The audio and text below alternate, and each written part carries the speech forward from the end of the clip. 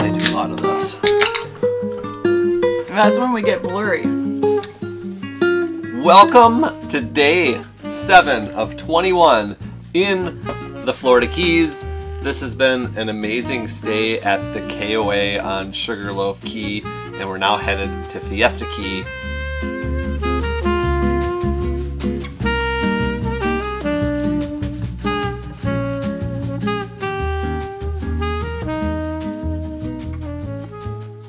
I don't know if we look happy and relaxed, but we sure are. This was a week in paradise. We've never, ever paid to stay at a KOA before. No, this is basically our first KOA experience, and I'm sure it's probably one of the nicest. It's brand new, and it's in the Keys, so it's got a lot of good stuff going for it. The location certainly helps, but 20 miles from Key West. coming into this KOA, we got, I'm going to say, we got the number one best campsite, Yeah, absolutely except for the ones that are on the water. Yeah, pretty close. So I can't say number one. I retract that. They have a lot of campsites here. I mean, a lot. Like just looking at their map, I was overwhelmed. It was like they have ten sites, which is might be rare for the Keys. I'm not sure, but then they have like standard sites, which are beautiful, and then they have like perimeter sites, which, Which are beautiful. Beautiful. Then they have uh, pull through sites, which are beautiful. Beautiful. And those, I think, all have a patio. So it's like a pull through with a paver patio, and then they give you that table and chair set, which is great to have in the Keys. And then they have kayak sites, which basically means it's on the water, but there's mangroves, but they give you a little access chute to uh, put your kayak in, so you have water access. And then they have ocean sites, which you're just basically looking at the beach and the ocean. Uh, pretty amazing because that's right where the sunrise is. Yeah, and what makes everything here so spectacular is the amazing landscaping that they've invested in here. They just finished in September of 2021, I think, and it's now May of 2022. The landscaping blows my mind every time we walk around. Like it just doesn't get old. Um, and we were lucky on our site. We have nice patio paver, everything. So it's super clean. yeah, we, we picked out a site for Louis basically because we we wanted him to be comfortable and we doubled up his pen outside so he had this huge pen and if he has like grass or rock underneath I think he, he does a lot more digging and um, I don't know it seems like the cement or the pavers does really well with Louis he likes to lay on it, and it's really good for our workouts too. Nice flat foot surfaces. but do you want to know the worst part of our stay I bet you can guess the no-see-ums the no-see. the biting midges, the whatever you want to call them. But they're little tiny flies, like no-see-ums. They look like flies. But you can actually see them You can see them. They look like biting you at all times. they look like flakes of pepper, Yeah. and they bite. And so it feels like a mosquito bite, but like an instant bite. And they actually fill up with blood too. So like they are feasting on your body our and soul. legs look like twister boards with all the red dots, like nonstop chicken pox. Twister, Twister. The game, the, the board game. yeah. Was it called Twister? Yeah, it was called Twister. It's, yeah. it's a small price to pay. So in the morning and the night, they're the worst. Dusk and dawn. Oh, and that reminds me of the dog park because they were really bad at the dog park. But we went to the dog park every single day, which uh, was small, but it was fenced in. It had astroturf, which was nice. It had a table with an umbrella, and it was a good space. Yeah. Louis met a lot of a lot of friends here. There's a lot of playing. So something that's unusual we heard about this KOA compared to others is that they have a full service bar and restaurant in the pool area. So they have a patio, a pool, and oh, it's an Airstream bar, which is kind of cool. The Airstream, half of an Airstream. And in the pool section, they have um, hammocks and like beautiful seating with fireplaces and uh, bean bags Bocce ball. bocce ball. Like it was just, it's just a pretty amazing. It feels like if this was all inclusive, I'd feel like we're in like a Mexican all inclusive resort, very Yeah. tropical. yeah. So it's just we. I don't know. It's weird to say, but like hands down, this is the nicest place we've ever stayed We're- in an RV. We're glad the whole time coming into it, we're like, should we drop the money on it? Should we save the money and not Yeah. go? And we're really glad we did because as soon as we pulled up, we were in vacation mode and it instantly transformed us into this is how the Keys should feel. And so basically, this is the most expensive campsite we've ever paid for, and it's about $130 a night.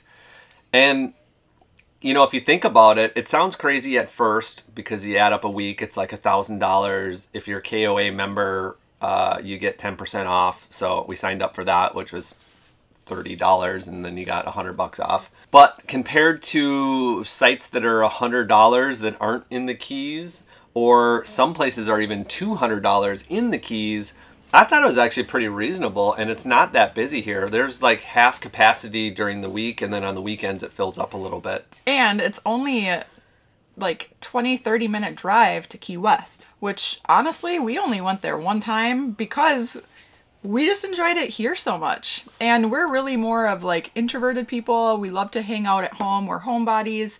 We love to just cook and sit on our patio, listen to the music that's at the bar right across the street. Oh, live music, There was live music. bingo, and trivia and stuff like that. So they really make it feel like a uh, a fun resort feel. And we forgot to mention that there is a really sweet restaurant, like literally across the street, a quarter mile from here, um, which is called Mangrove Mamas. And uh, we went there a couple times just because it was so close. Good, great uh, keys, beachy type of vibe. island food. I would say the food was decent. The menu selection was really big. So there's something for everyone, but what really makes that place special is the location, the convenience, and we could bring Louis with. And the atmosphere. Yeah. Like it was, it, it felt like a, a 40 year old run family business, which it is. It is. And it's a very fun location. And that was cool to just have that uh, easy access to, to check out. Yeah. Update on our rules for the week. Happy Saturday, everyone. It might not be Saturday when you're watching this, but it's Saturday today, and we're headed to the Keys. Yeah, not just any Saturday. It's Keys Saturday. We're very excited because we're doing a little bit of a work vacation, I guess you could A call it. working vacation. Yeah, and we're gonna stay uh, for three weeks in the Florida Keys at two different RV parks. We've been to the Keys before, but only for four days when we first started in 2019. So this is going to feel like a much more thorough experience. Yeah, we're gonna do it right this time. I feel like in 2019 we were still in the hyper savings mode. We had just left, we had just quit our corporate jobs, and we had just started our own business. And we were in the van and with the motorhome, we weren't, you know, going and exploring. We did not have the e-bikes at the time. So we really just stayed at the park. We spent one day going down to Key West and that was really it. But anyway, on this trip, we have a few guidelines in place. Rule number one. toes, toes in the sand every day. Rule number two sunsets or sunrises every day. One or the other. One or the other. Rule number three we're actually forcing ourselves to designate activity money that we need to spend. Like, Yes. not going out and eating or having drinks, like, actually going out and doing some sort of a paid activity because we're that bad at going out and doing things. Like, this is rule number three, so just to make sure it happens. We did touch the sand every day. We did see a sunset and or sunrise every day. We did not spend any money on excursions, so we failed there. We failed big time on that. Uh, Chris got food poisoning for two days, so let's not forget about that. yeah. That- I was crippling and moaning in pain for an entire night like I've never felt before. It was horrible. I was sitting outside trying to enjoy a beer, and she was moaning so loud in here. It was distracting. It was. I'm kidding. No, you're not. No, I really was. I really was. It was horrible. But luckily, it it it, got better the next day, and then the next day it was a little better. So I'd say three days total. It affected me. Um, luckily, there was no projectile vomiting, so that was a plus. So there's probably a ton more stuff. I, we just wanted to word vomit some of our thoughts about this place because it was so great. And this is a bit of a vacation for us, so we didn't really even do a lot of filming. Um, we wanted to kind of just enjoy this uh, Time. little, little time for ourselves for We sure. We needed a little break, so that week was just perfect. Yeah, and now we're off to Fiesta Key for two weeks, and believe it or not, Fiesta Key is twenty dollars a night with our Thousand Trails membership. So we're paying like I think three hundred and fifty dollars for two weeks in the Keys. That's insanity. So it was about a thousand dollars to stay here at the KOA for one week, and for like a third of that, we're going to be able to stay for two weeks in a less nice resort, but still in the Keys, right on the water.